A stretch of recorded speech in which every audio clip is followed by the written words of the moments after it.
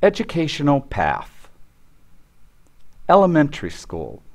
An elementary school is for children from kindergarten to fifth grade. Students that attend elementary school are usually between 5 and 10 years old.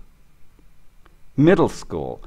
A middle school is for children in 6th, 7th, and 8th grade.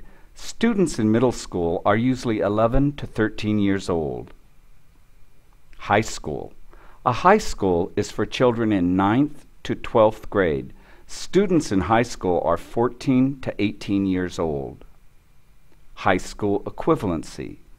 A high school equivalency is a credential that can be earned by students who did not complete high school. Students earn this credential by completing an exam. Community college. A community college is a two-year school for higher education. Students that attend community colleges can earn certificates or two-year associate degrees. Technical school. A technical school is a school where students can study in vocational programs. Auto technology, dental assisting, and nursing are examples of vocational programs. College.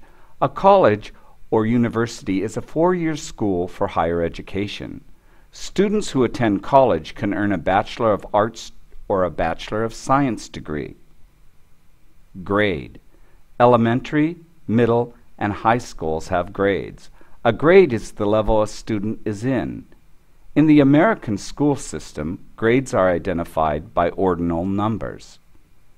Graduate. To graduate means to complete high school, college, or university. Students who graduate participate in a special graduation ceremony and wear a cap and gown. Certificate.